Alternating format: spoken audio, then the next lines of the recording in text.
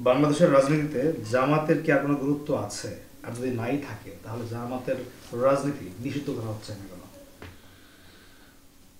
জামাতের গুরুত্ব নাই, এটা বলা ঠিক হবে না, সত্যের অপলাপ হবে। জামাত একটা সংগঠিত শক্তি হয়েছে, এ ব্যাপারে কোনো সন্দেহ নেই। কিন্তু জামাতের কার্যকলাপ, জামাতকে দেশপ্রিয় দল হিসাবে কখনো তৈরি করবে না। আমরা যখন ব্রিটিশের কাছ থেকে পাকিস্তান হয়েছিলাম, যখন সমস্ত জাতি, প্রায় সব ব্রিটিশ বিরোধী হয়ে পাকিস্তান চেয়েছিল লড়কে লেঙ্গে পাকিস্তান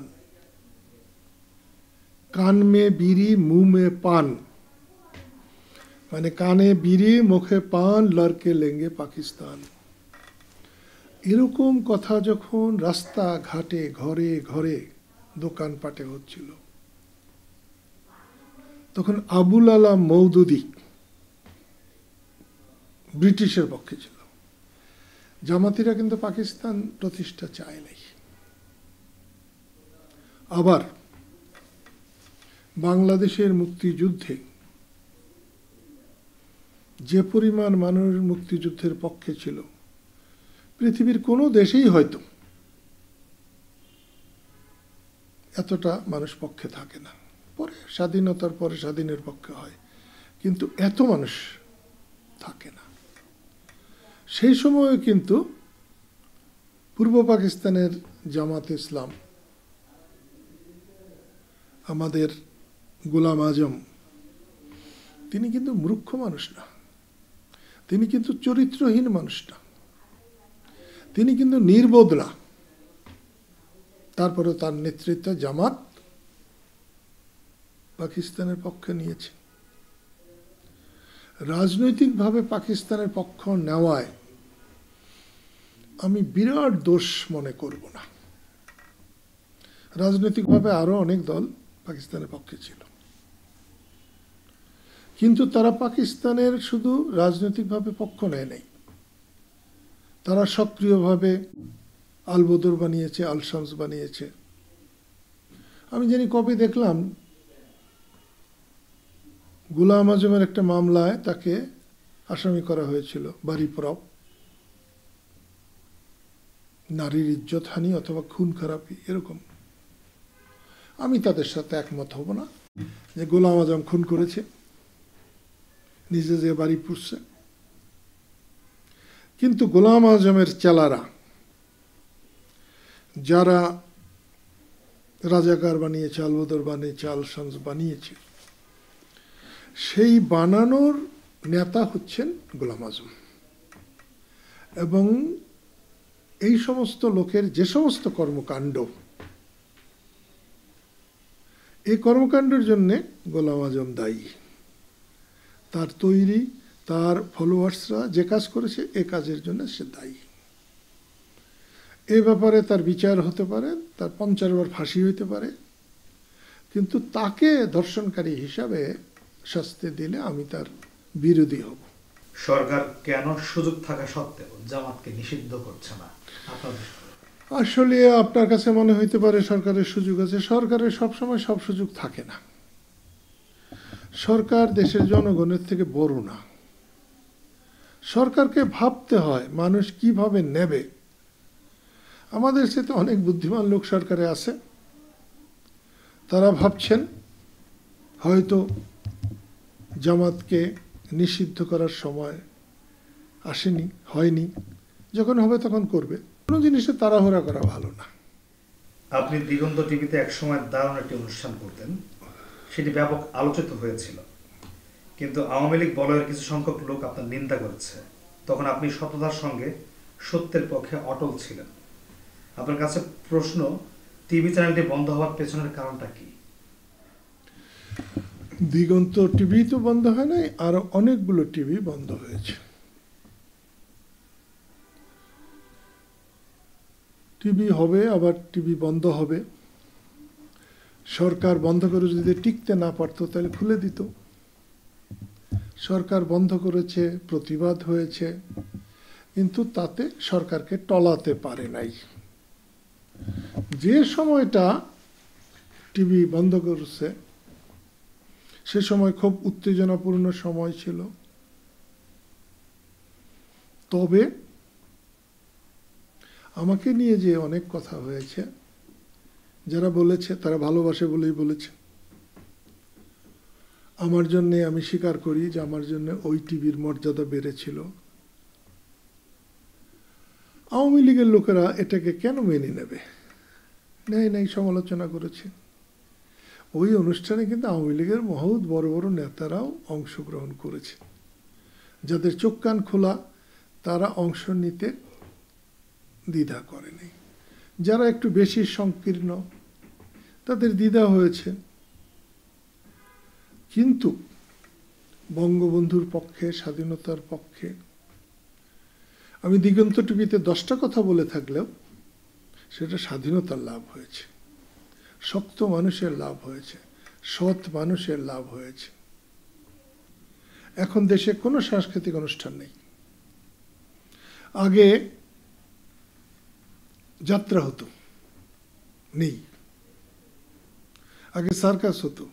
নেই। আপনি জানেন কিনা জানি না। রূপবান যাত্রা বলে একটি যাত্রা তেষট্টি, চৌষট্টি অথবা পঁয়ষট্টি সালের থেকে।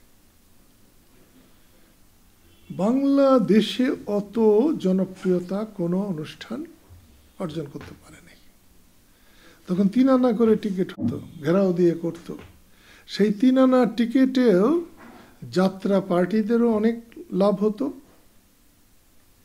যারা কমিটি করে রূপবান যাত্রা করাতেন,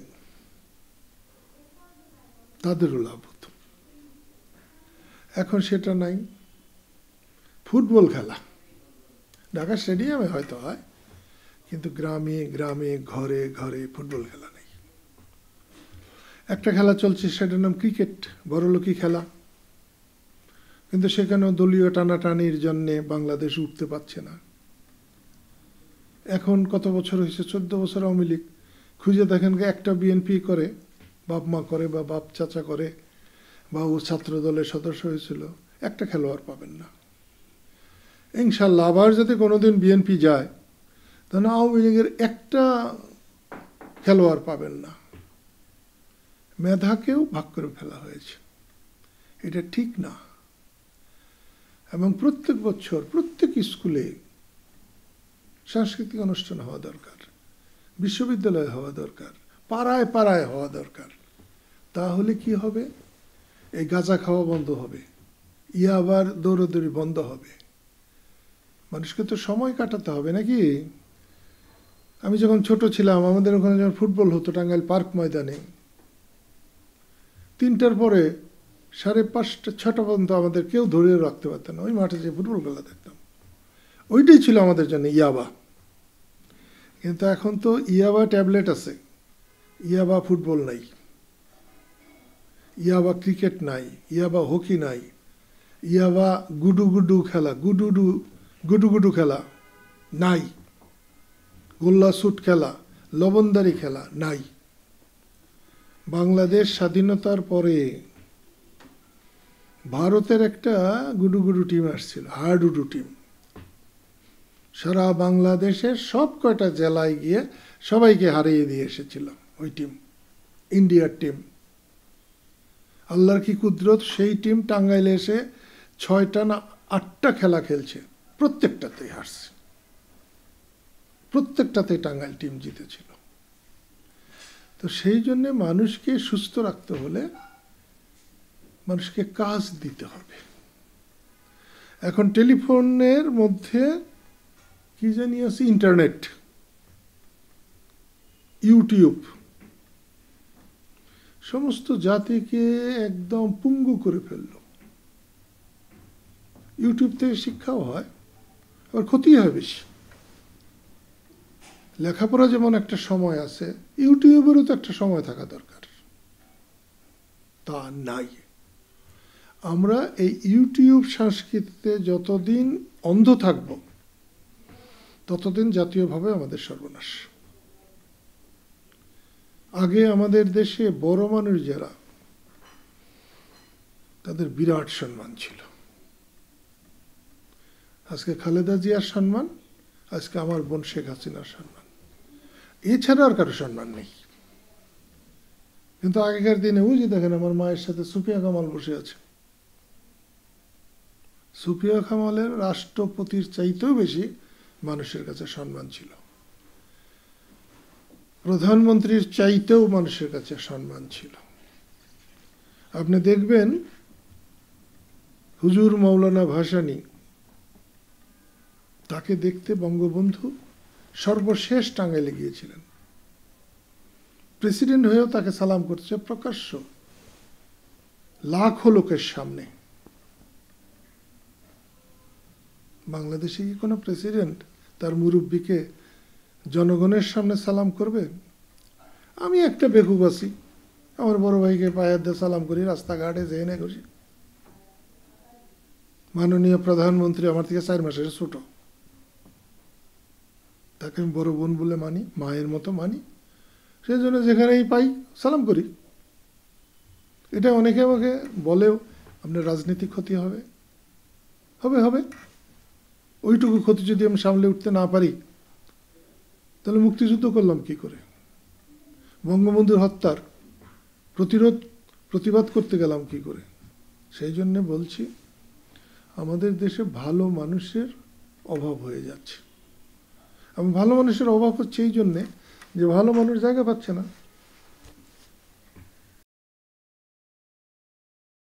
আপনার গুরুত্বপূর্ণ অর্জন এবং কাজগুলো সম্পর্কে সবাইকে অবগত? ব্যক্তিগতভাবে আপনার অথবা আপনার প্রতিষ্ঠানের সুনাম ও সমৃদ্ধি ছড়িয়ে দিতে আপনার পাশে রয়েছে web kingdom design, graphics design, motion graphics, professional photography, videography Facebook ad paid campaign সহ আপনি পাচ্ছেন নানাবিধ সেবা। বর্তমান সময়ে ফেসবুক ইউটিউবের মতো চমৎকার মাধ্যমের বিকল্প আর কিছুই নেই। এইসব মাধ্যমে লাখ লাখ মানুষের কাছে আপনার বা আপনার প্রতিষ্ঠানের তৎপরতা ছড়িয়ে দিতে যোগাযোগ করুন আমাদের সঙ্গে এই নাম্বারে। আমরা কাজ করছি বিশ্বস্ততার সঙ্গে। তাই আমাদের সঙ্গে রয়েছে মেরিস্টক্স Bangladesh, highway police, Hamdard Bangladesh, one pharma, drug international সহ অসংখ্য প্রতিষ্ঠান। আপনার ফেসবুক এবং ইউটিউব ব্যবস্থাপনা বা ক্যাম্পেইনের জন্য আমরা সব সময় রয়েছি শতভাগ সক্রিয়।